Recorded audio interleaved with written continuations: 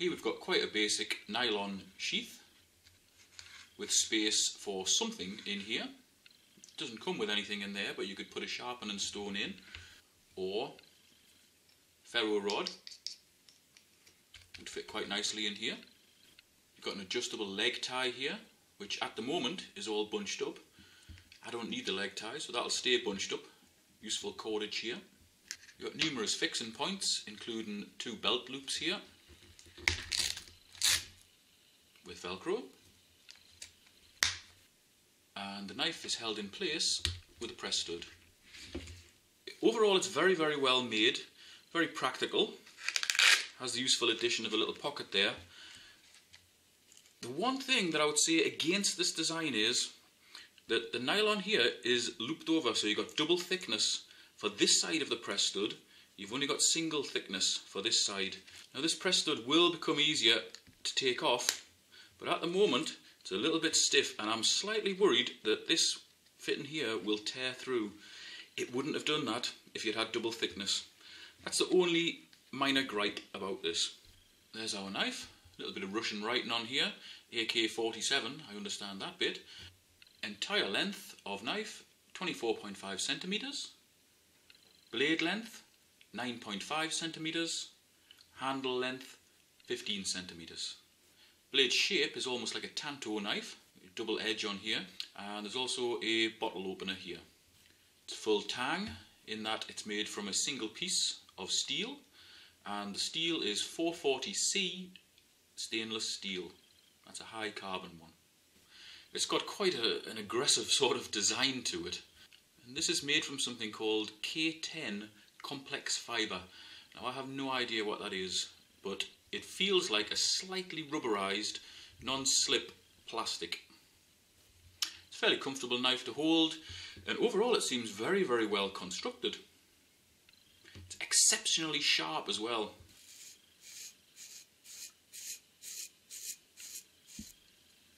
There you go. It's actually sharp enough to shave with right out the box. So that's the technical specs out of the way. Let's see how it performs. Now we're going to see what it's like making feather sticks. Here we've got a piece of very, very dry hazel. Hazel's a sort of hardwood, and as we know, very, very hard. See how it gets on. Quick test making feather sticks.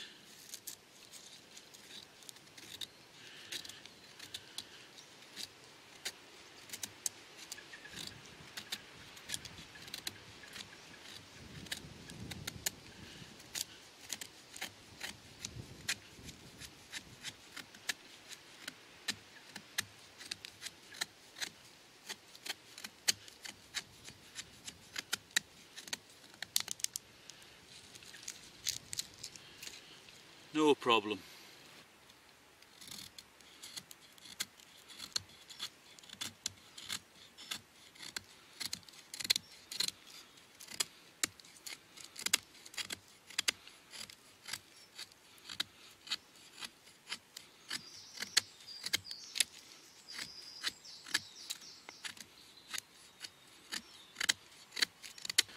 Try and cut through some straight dead hazel hardwood. No problem. Get a thicker bit now. Yeah, that's more like it. No problem at all. Beautifully clean cut.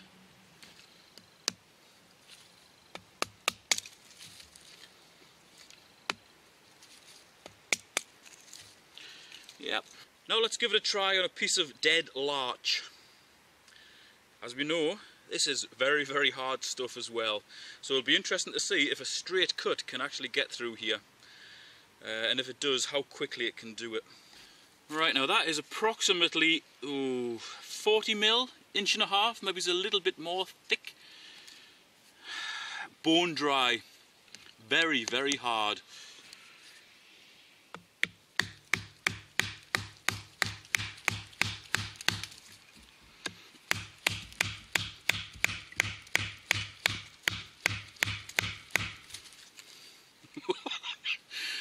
absolutely fused in there.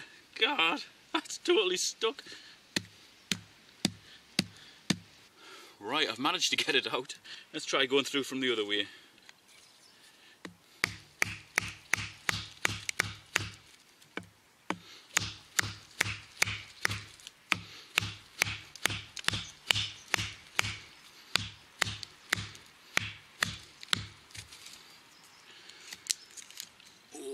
Oh, look at that. You can see how hard that is, how compact it is. Went through very, very cleanly though. With not a bit of damage to the blade. That's still smooth as anything. Razor sharp. We'll just give it the hairy arm test again. It's still shaven. I mentioned before that this knife's very well constructed, very robust, full tang, etc, etc. It's also very well balanced as well. Forward target, flip, backward target. Hopefully you'll never need to do that, but if you do, it's a good tool for the job. Also throws reasonably straight if it's released early. A little bit of hardened resin on the top here off where I was bashing it with the stick. No chips or blemishes at all in the blade. Still exceptionally sharp. You tell me that isn't worth a tenner. I'm sorry. What did you say? A tenner? Yep, that's all it is. Got this from Gear Best. Chinese company. The ship from China. This is under a tenner. I think it was on there $12.16 or something. $12 US. That's absolutely nothing for something of this quality.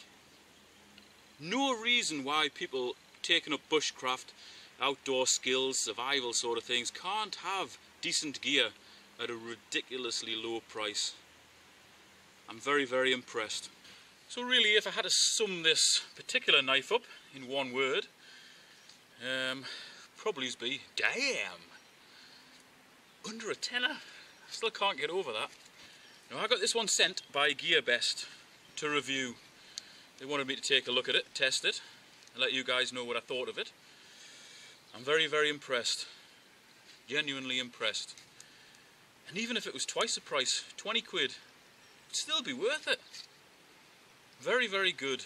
Very good. With the addition of a little fire steel in there, you're good to go.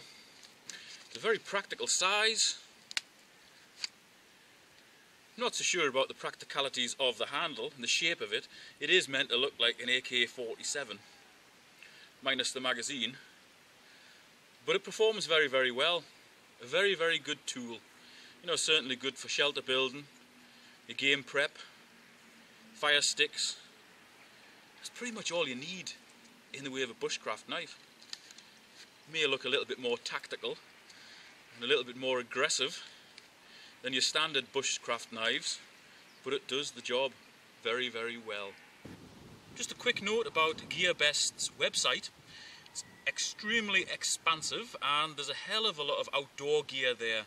If you ever search for outdoor gear on eBay and Amazon, You'll have probably seen quite a lot of the things that are available on the GearBest website, but it's all in one place and it's all very, very reasonably priced as well. I'm looking forward to testing more gear, more outdoor gear from them, and I suggest you take a look at the website. Link in the video description. Thanks very much for watching this review video of the AK-47 outdoor knife.